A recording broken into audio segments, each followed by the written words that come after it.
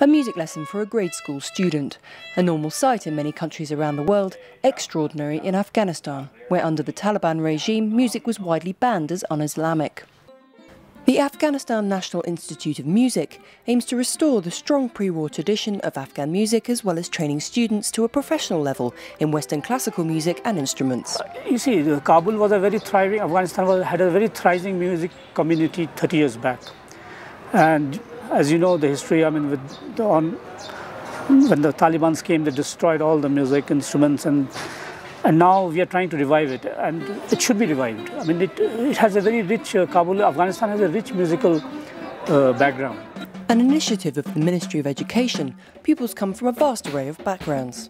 But one of the main foundations of the school is to help disadvantaged kids to get off the streets and into school, using their talent for music to forge their future. I do have students who, you know, used to sell chewing gum or used to sell plastic bags and and now the, and many of them are, are little girls as well, so they face tremendous pressures on reasons of, of gender, of, of socioeconomic class. Uh, their families receive an amount of money which is slightly more than what they made on the streets of Kabul to encourage the children to stay in school instead of going back to the streets.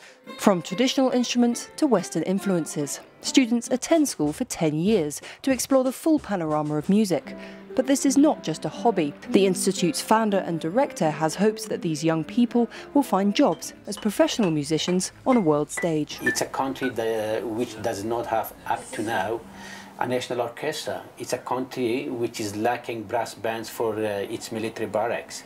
It's uh, a country which does not have uh, an ensemble of even Afghan traditional instruments. There are small groups playing here and there, but uh, we would like Afghanistan to have a big orchestra of Afghan traditional instruments as well as a national orchestra. Sometimes it's a struggle to keep students in school if their families object. Recently, when the brother of one student returned after working several years outside Afghanistan, and as soon as he came to Afghanistan and he saw that uh, his sister is studying music, the first day he stopped girls or prevented girls from coming to to the institute or to the school.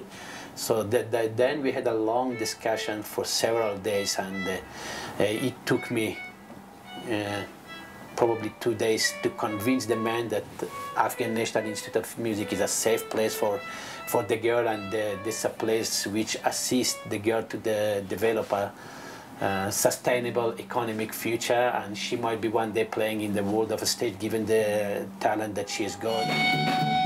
As well as traditional music, students enjoy contemporary sounds like the school's house rock band. These students put down their sitars and violins after class and pick up guitar, bass and drumsticks. Uh, all people of Afghanistan like music, but uh, we want to try to uh, say to all of the world that Afghanistan can be equal to all of the country and uh, we can introduce our uh, culture with the music and our uh, everything that in country happen with the music. Whether the school will survive in the face of conservative opposition remains to be seen. But if students, both young men and women, have the opportunity to showcase their talents, it's much more likely that they'll play on in the future. This is Ruth Owen in Kabul for the NATO channel.